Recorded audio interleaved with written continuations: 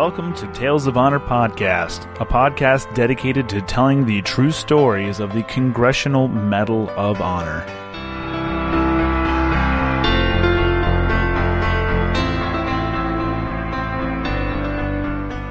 Hello, everyone, and welcome back to another episode of Tales of Honor podcast. I'm your host, Christoph Ambrosch. I am the host of the only podcast dedicated to telling every single story of every single Medal of Honor recipient. And this is episode 110. I kind of like that it worked out that the end of the month is a nice even episode like 110. I like even numbers. I can't be the only one that likes little nuggets like that. Uh, this is the last Korean War episode uh, for a little bit. We did two months of it, and we're moving on to something else. What that is, well, you'll have to go on over to Instagram and cast your vote on in, uh, Instagram stories is usually where I, I put that up for a, for a day or so. Let me know which one you'd like to see. I'll have a poll. I'll do a little bracket. I usually choose four and then narrow it down to two, which gives me a four month range. So head on over there.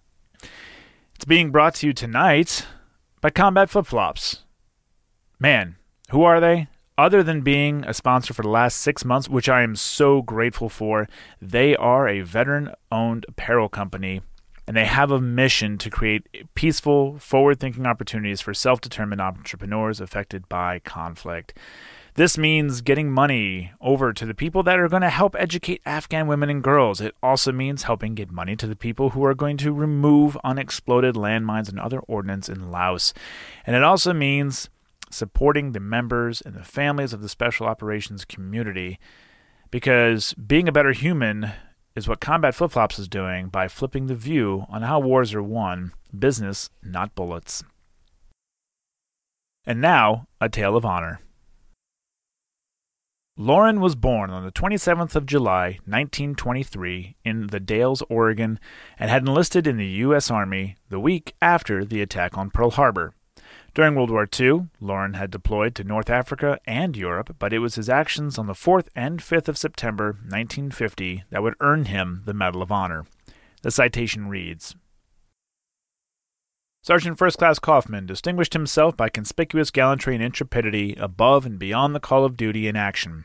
On the night of 4 September, the company was in a defensive position on two adjoining hills. His platoon was occupying a strong point two miles away, protecting the battalion flank. Early on 5 September, the company was attacked by an enemy battalion and his platoon was ordered to reinforce the company. As his unit moved along a ridge, it encountered a hostile encircling force. Sergeant First Class Kaufman, running forward, bayoneted the lead scout and engaged the column in a rifle and grenade assault. His quick, vicious attack so surprised the enemy that they retreated in confusion. When his platoon joined the company, he discovered that the enemy had taken commanding ground and pinned the company down in a draw. Without hesitation, Sergeant First Class Kaufman charged the enemy lines, firing his rifle and throwing grenades. During the action, he bayoneted two enemy and seizing an unmanned machine gun, delivered deadly fire on the defenders. Following this encounter, the company regrouped and resumed the attack.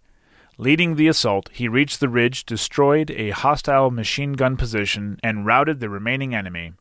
Pursuing the hostile troops, he bayoneted two more and then rushed a mortar position, shooting the gunners. Remnants of the enemy fled to a village, and Sergeant First Class Kaufman led a patrol into the town, dispersed them, and burned the buildings. The dauntless courage and resolute, intrepid leadership of Sergeant First Class Kaufman were directly responsible for the success of his company in regaining its positions, reflected distinct credit upon himself, and upholding the esteemed traditions of the military service. Loren R. Kaufman was killed in action five months later and is buried in the Willamette National Cemetery in Portland, Oregon, Section H, 3622N. And that was a Tale of Honor. Thank you so much for listening to Tales of Honor podcast. If you like this podcast, please be sure to leave a nice review, a good rating, and tell a friend. You can see more information on Facebook, Instagram, Twitter, and at talesofhonorpodcast.com. If you have any questions or comments, you can send them to talesofhonorpodcast at gmail.com.